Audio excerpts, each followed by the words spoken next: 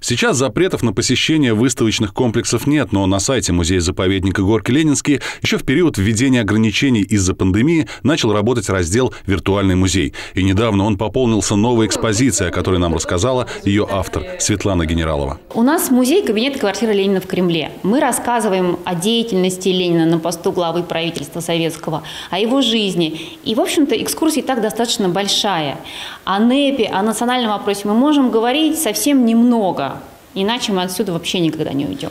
Вот, поэтому мы сделали выставку виртуальную.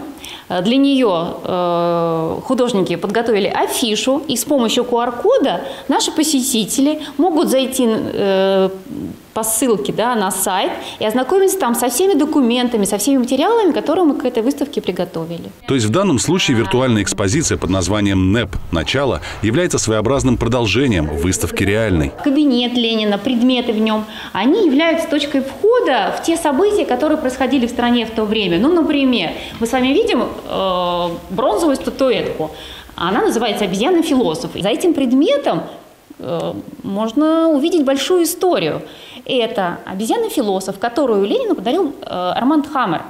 Почему Хаммер приехал в Россию? А потому что страна перешла к новой экономической политике.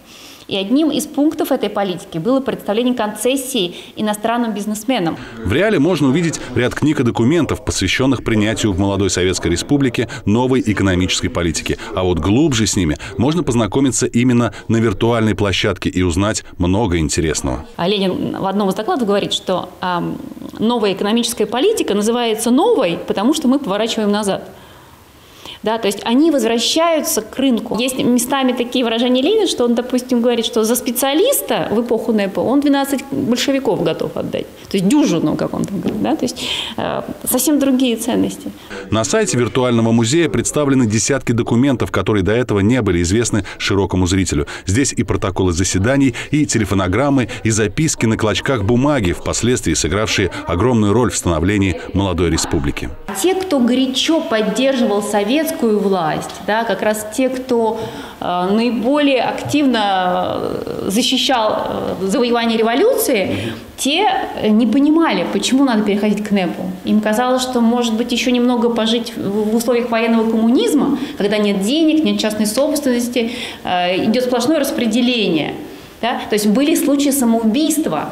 Настолько люди не могли смириться с тем, что страна возвращается к рыночным отношениям. И что самое привлекательное в виртуальной выставке, на нее не нужно покупать билеты. Достаточно зайти на сайт музея-заповедника Горки Ленинский в раздел «Виртуальный музей». Максим Козлов, Сергей Ларин, Екатерина Давлятова. Видное ТВ.